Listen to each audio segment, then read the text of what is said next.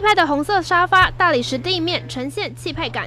台中知名酒店金钱豹内部包装陈设大曝光，连卫生纸盒都是孔给妹，这还不打紧，酒店就要转型自助 KTV，还是以照顾基层员工为主。真正我们要的是工作，你政府的补助对我们来讲只是一点点小小帮助而已。我们最需要的还是工作了，就是真的撑不下去了，让金钱豹终于等到副业这一刻，马上申请自助 KTV 打头阵，包厢费用每小时从一千元起跳，大包厢五千元，最多可以容纳二十九人，而且人数超过还会再额外计费，价钱跟坊间连锁 KTV 相去不远。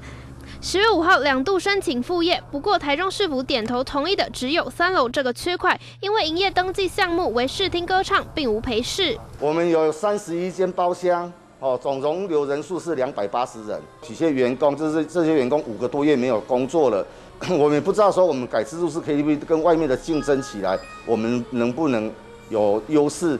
哦，所以说还是以照顾基层员工为主。明天的副业的时候，差不多有三分之一的人可以副业，哦，大概都七七八十个人这样。毕竟不开门迎客，每个月亏损无法止血，压力可想而知。从指挥中心公布核准休闲娱乐产业有条件副业，台中市已经有三十七家通过申请，非常高兴。哦，我们今天开始可以又可以唱支 K 了。公司从早上开始准备资料，然后一直到中午前的时候就马上送件给市府。那市府也也很快的，在下午五点钟以前就核准我们这边可以开始营业，让员工有班可上，有钱进账，开门迎客。接下来就是力拼撑过疫后时代的营运考验。欢迎新闻洪志成、吴明业、刘佩婷台中报道。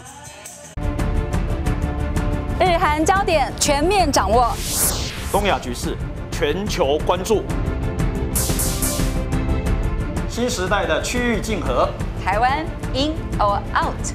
每周四晚间九点，环宇看东亚，带您探索东亚震惊脉动。